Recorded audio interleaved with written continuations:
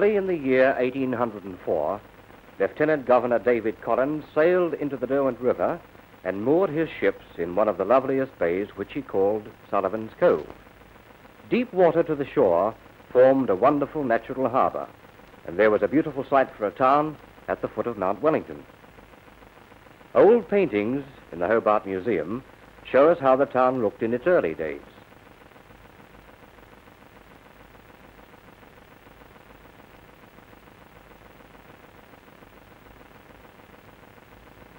From a tiny camp by the river, Hobart became a thriving port for whaling ships.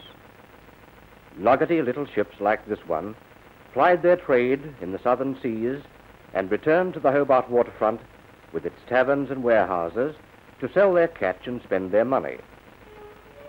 Those early days were roaring times, but now the city is more respectable and peaceful. But still, the people of Hobart are drawn to the waterfront to watch the scallop and other fishing boats return from the Channel and the southwest coast. And to see the overseas cargo ships which call in to load Tasmanian apples for the United Kingdom and fine Tasmanian wool for many distant ports. This little port is perhaps one of the friendliest in the world. The ships lie at their berth, not a stone's throw from the center of the city, their masts rising almost among the buildings. The city itself is a busy place. On the right is the General Post Office in Elizabeth Street.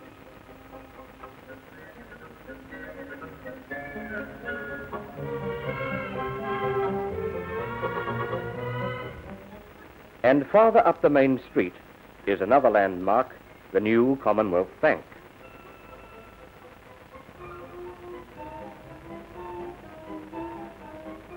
The town hall stands by itself in the sunlight, facing the post office. It is the center of municipal government.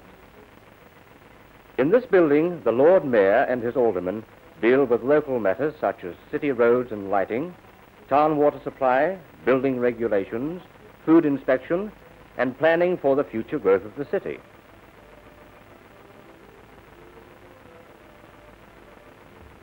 Members of the City Council are chosen by the ratepayers of Hobart at elections which are held every two years. They have the power to make bylaws to enforce their decisions.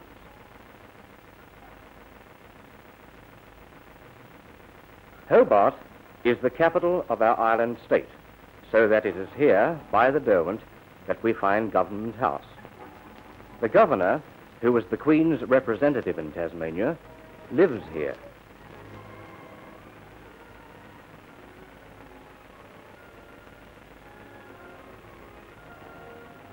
In Parliament House, the laws of the state are made.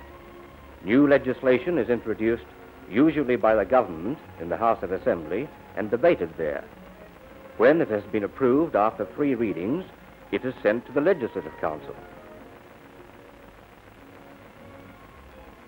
The Legislative Council, which consists of 19 members of Parliament, has the power to suggest amendments or to reject a bill. When a bill is approved by this council, it is sent to the governor for his signature, and it then becomes law. As the center of state government, Hobart has a great number of administrative buildings. This is the Lands and Surveys Department in Davey Street, where Tasmania's maps are made.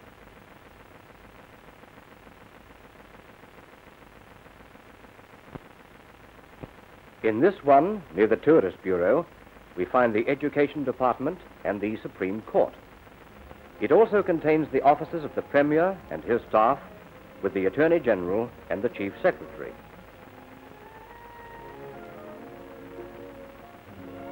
And this building in Davey Street is where plans are made for all the hydroelectric developments in Tasmania. If we travel up the Derwent from the harbour, we come to the Hobart Bridge, which floats on the water connecting Lindisfarne with the city.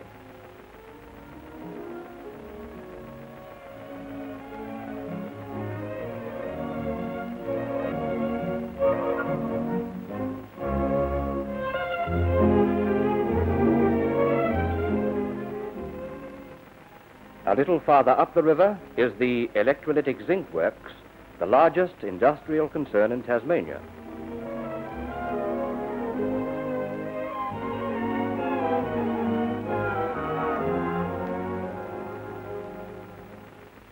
Ships sail up the Derwent, pass under the lift span of the Hobart Bridge, and at the zinc works they load zinc ingots, superphosphate, or sulfate of ammonia.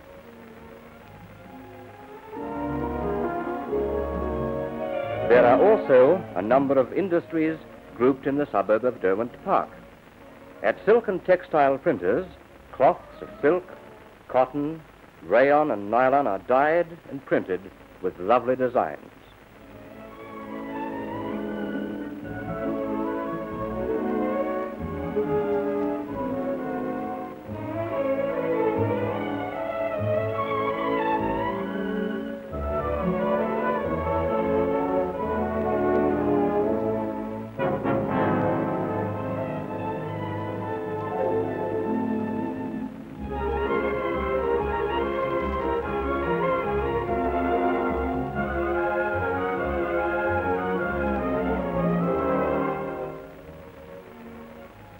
Strong chisels are made at the Titan Products factory.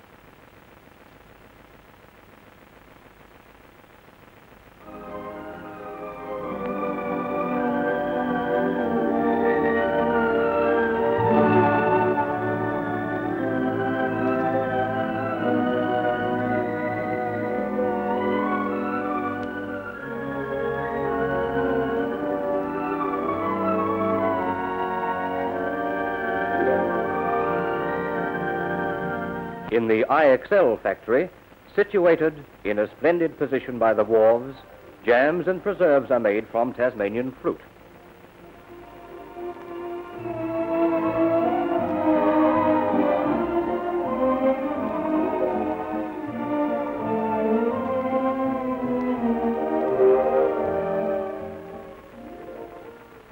But there is more to any city than houses, docks, shops, and factories. There are the schools, the colourful new schools set in pleasant surroundings.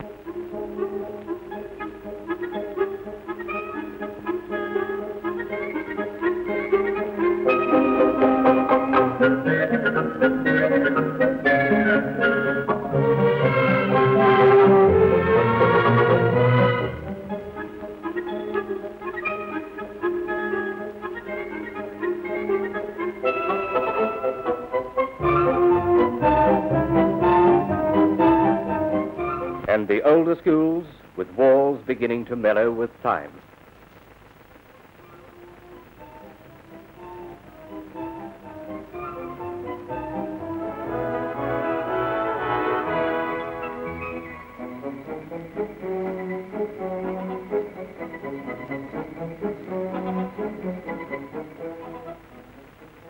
There is the museum, where examples of many natural and man-made objects are displayed.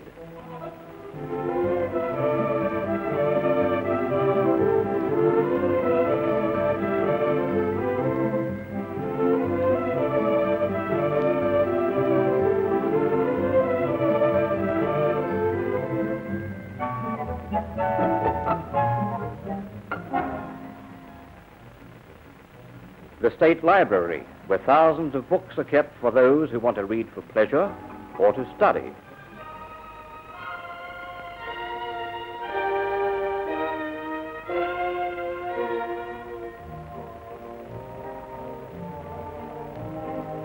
And here, on the outskirts of the city, is the Lady Franklin Museum, a gift to the people of Hobart from Lady Franklin. A walk around Hobart will bring us to a number of beautiful old buildings. These stone warehouses in Salamanca Place have seen the passing of many years. While Arthur Circus is almost unchanged since the early days. The Theatre Royal, erected in 1838, was the first theatre to be built in Hobart.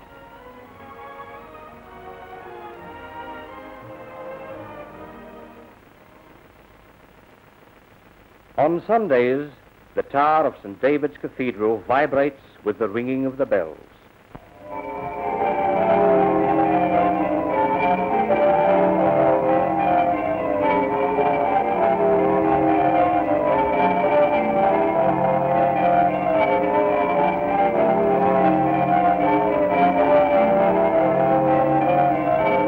And here, St. Mary's Cathedral stands amid green lawn.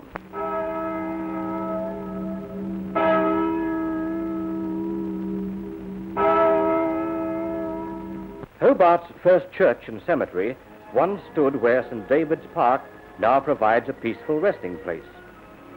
Many of the old tombstones still remain in the park.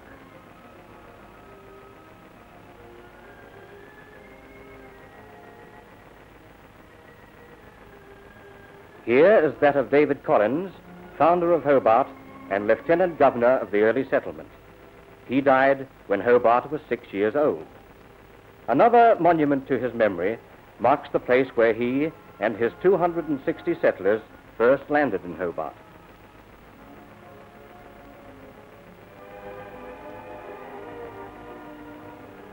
Another very attractive piece of city parkland is Franklin Square, where stands a statue of Sir John Franklin, an early governor of Tasmania and a famous explorer.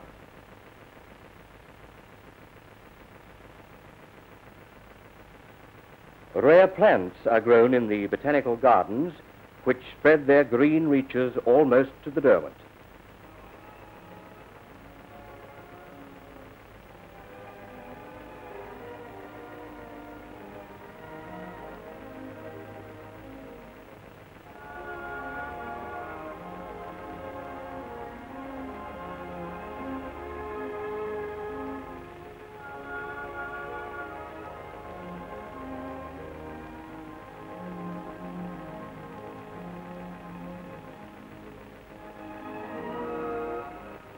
On the domain stands the white cenotaph, a constant tribute to the fallen of two world wars. In all weathers, the mountain is a favorite playground for the people of Hobart.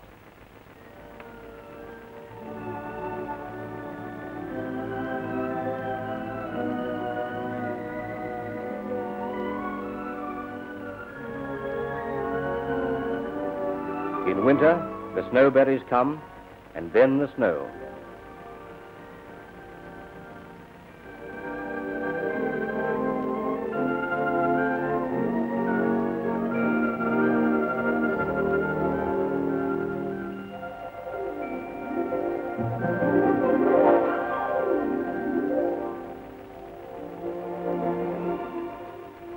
And of course, the winter brings the football, a favorite sport in Hobart.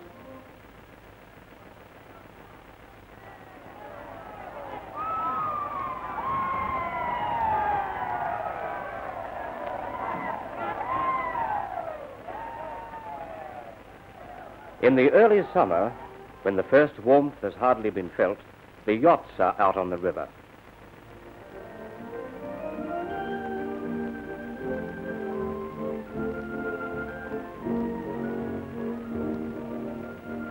Then the beach fills at Sandy Bay during the long golden days.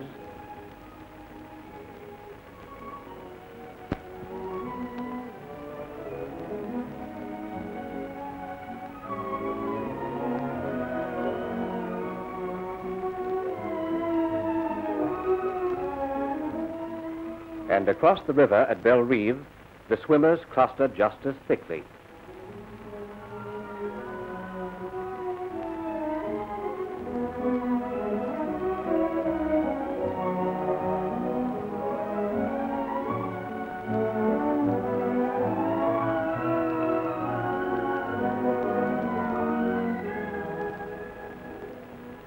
This, then, is Hobart, built on the banks of the Derwent beneath Mount Wellington, the port, the capital, the lovely city.